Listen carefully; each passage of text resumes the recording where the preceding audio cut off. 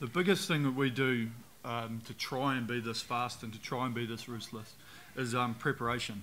Now, we don't turn up on the start line thinking, okay, I'm going to give that little bit extra today because if you haven't given it prior to turning up, how do you expect to give it on the day? You know, you always hear people saying, oh, okay, it's the biggest, you know, we're going out, this is the biggest game of our lives, this is the final, let's give 110%. Well, if you haven't given 100% before, you're never going to give it. Um, and so for us, training really is almost harder than what we do in racing.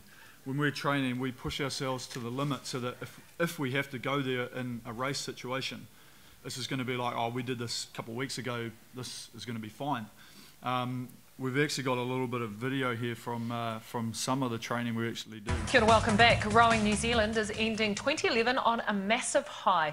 Seven months out from the Olympic Games, three of their high-performance athletes have broken world records in a single day. But Fiona Paterson and Peter Taylor's efforts have been somewhat overshadowed by another display of incredible power. Craig Stanaway has more. They're not fun, those machines, not even for a minute.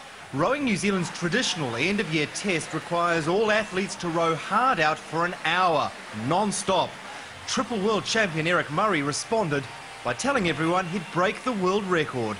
He's now been going 50 minutes. If he knows in his head that he's on target, then that certainly gives you a bit of confidence coming into the last five or 10 minutes. It gives you a bit of a boost. Former Olympic single sculler Gary Reid is on hand from Concept 2, the world's leading rowing machine manufacturers, to ensure everything's legit. Verified records are on their website. I'd say he'd be under world record time, and he's holding it nicely, so he's in, yeah, he's in good shape, I reckon.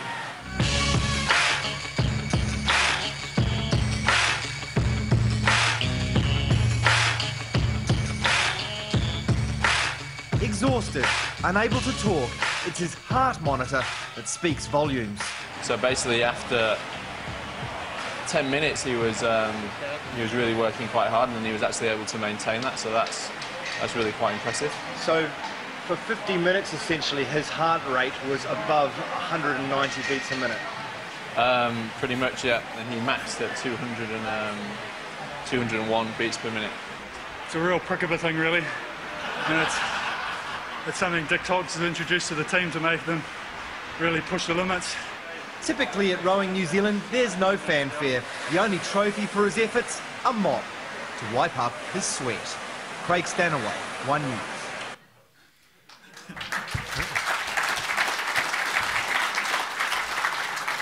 So, um, I mean, that, that, I guess that video just gives you, A, it gives Eric's ego a wee boost, and um, and secondly, I guess it just gives you an insight into the mentality that we take into our training, and it, and it really is about preparation. We, we, um, I worked out. I am not quite sure why. Um, okay, a, a, rowing race is two kilometres long. It takes approximately six minutes, and during that time, you'll do 240 strokes. And I worked out over the previous four years, um, for every one of those strokes of the final, 240 of them, we did 15,000 strokes in training. Um, so I don't know what that is. I can't work it out. 200, yeah, probably a, a, number of iPads in the room. You can probably work it out. Um, but yeah, the idea is we, we do a heck of a lot of training. We train at the moment. Um, we train six days a week, about well two or three sessions a day, usually two. So between 12 and 14 sessions a week, and each one will be between one and a half and two hours long. So we yeah, four to five hours a day of dedicated training and then there will be you know another hour or so of related activity around that.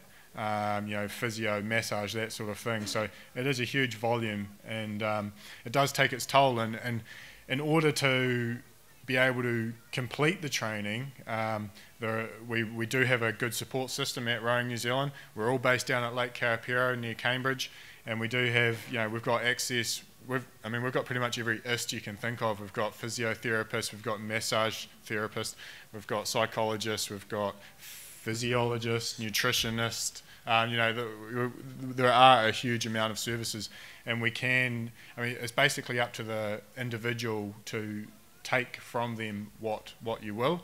Um, and, and what you want, and we do. That's what that's, you sort of look at what value each one can add, and, and there isn't probably time to do you know, do each one of those ist would love to have half an hour with you every single day. um, but there just isn't that time. So you've really got to prioritise and work out where you can get the best uh, the best gains from. And if we want to bring this back to another business analogy, is that we we bring the people around us that we see make us successful. So we have uh, the best trainers and the best physios and that sort of thing, so that we are going to get the best out of it because we believe what they bring to our program and to our mindset and our attitude um, is going to make us um, better people. Um, by having those people around you, then of course we feel good about ourselves. We know that they're bringing to the table the best things. Um, and that's one thing we've looked at too is the attitude that Hamish and I try and bring to our training and to our racing is is always trying to be the best, um, trying to do that little bit extra. We know that these people will go beyond. You know, if we ring them up or we talk to them late at night, they're going to respond. Um, it's not just going to turn up at nine and leave at five. Um, they're always trying to look far and beyond um, what they're going to do. Um, that support system is really good for us, um, and it's really made a lot of what we can get out of ourselves. Um, that there is our closest ever race. Um, from that, we changed all our mindset um, of how we wanted to go about it. Hamish, you know, alluded to it before. This was probably the wake-up call of where we wanted to go to. we'd been successful. we'd won 2-9, 2-10, 2-11. Um, and really we started getting down to the nitty gritty of going into London. Um, London came upon us pretty quick. Um, you know, we sort of we went away overseas, and we were based in Switzerland before the Olympic Games, and we really had no idea of the hype that was building up in New Zealand. Sure, we did the promo videos and you know photographs and things like that before we left, but we were sort of stuck away. We didn't see the TV coverage. Yeah, stuck mm. away while it was winter. We were stuck yeah, away in Switzerland. Yeah, fine but it was it was really just you know about all we read on TV, you know, all we read in the on our little iPads while we're sitting there in a hotel um, was just about the about what's happening coming into London. We counted down the days to we were going to get there, and it was really we'd done all the preparation, um, and it was really now about turning it around and, and and putting it on. You know, we've done all the work, but you've still got to turn up on the day to do it. Yeah, and that's, that was probably the hardest thing to get around mentally. Um, you know you've made it, eh, when, yeah. when you're on a TUI billboard. Um, um, that was a, it was the hardest thing. We, we, were the be- we were unbeaten for three years. We were going in as favourites. In fact, we were the biggest favourites out of any event at the Olympic Games. We were paying a dollar and four to win, um, which is, you know, that's literally safer than the bank if you do the math. Um, that, that's what they're banking on the return. And um, it, was, it was hard to take. It was, the it was principally for me personally was around the fact that knowing that I should win and I'm good enough to win and I should, but it doesn't mean it doesn't mean anything.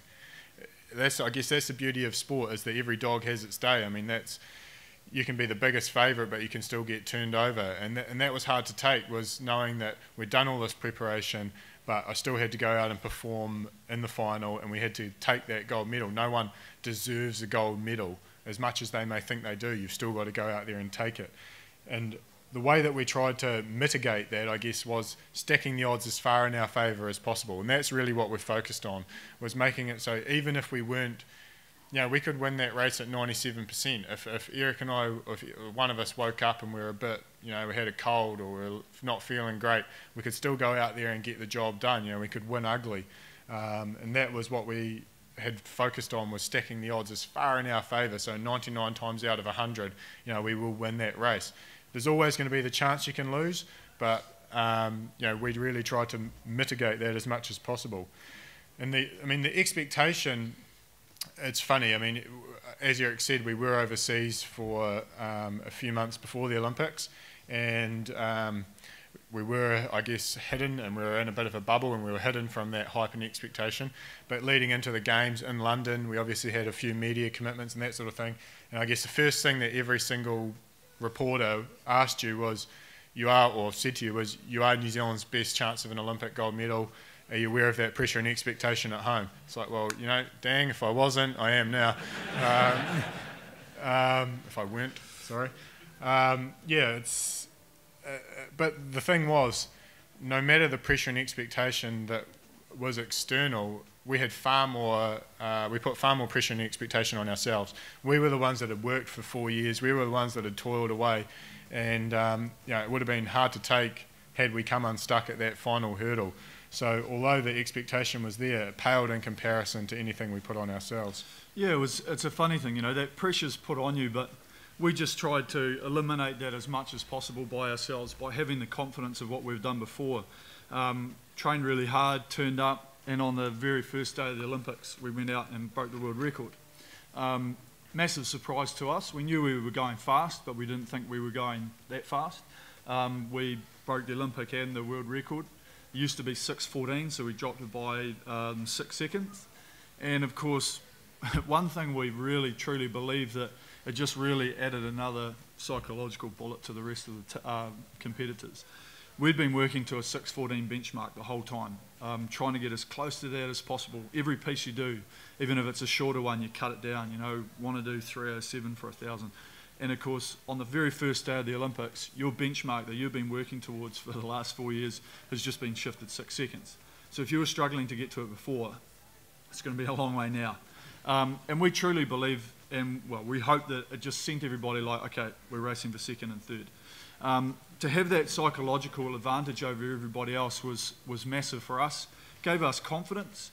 Um, but the fact was that nobody had ever beaten us before um, everybody had that self doubt in their mind. And you, you always hear people talk about it that as soon as you have an element of doubt creep into your mind, um, it's over.